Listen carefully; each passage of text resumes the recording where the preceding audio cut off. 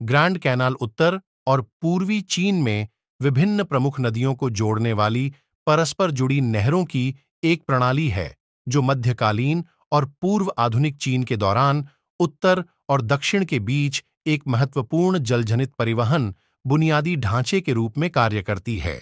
यह दुनिया का सबसे लंबा कृत्रिम जलमार्ग और यूनेस्को विश्व धरोहर स्थल है।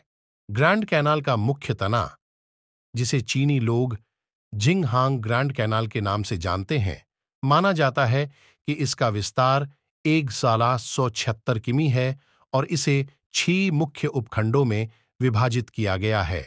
जियांगन नहर हांगजो में कियानतांग नदी से झेंजियांग में यांगतजी नदी तक चलती है।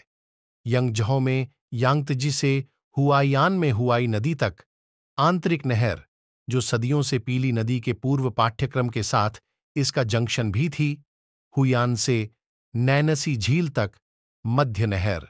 जीनिंग के पीछे की झीलों से लू नहर और पीली नदी के वर्तमान मार्ग से लिनकिंग में वेई नदी तक, लिनक्विंग से तियानजिन में हाई नदी तक दक्षिणी नहर और बीजिंग के बाहरी इलाके में तियानजिन से टोंगझू तक उत्तरी नहर। जैसे यह Zhejiang, Jiangsu Shandong Hebei Tianjin और बीजिंग के प्रांतों और नगरपालिकाओं से होकर गुजरता है।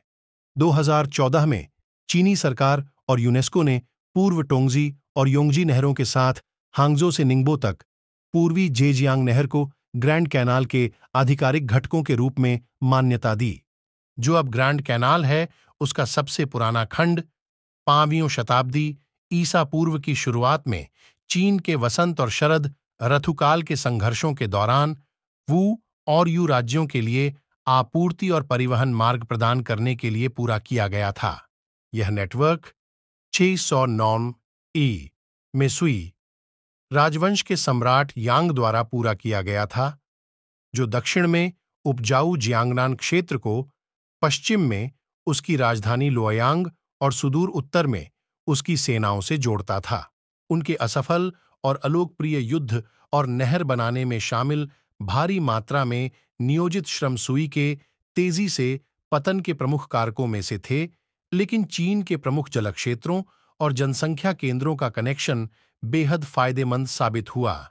तांग राजवंश के तहत अतिरिक्त नहरों ने चांगान को और भी पश्चिम में आपूर्ति की, जबकि मुख्य मार्ग के साथ रुकने वाले शहर साम्राज्य के आर्थिक केंद्र बन गए।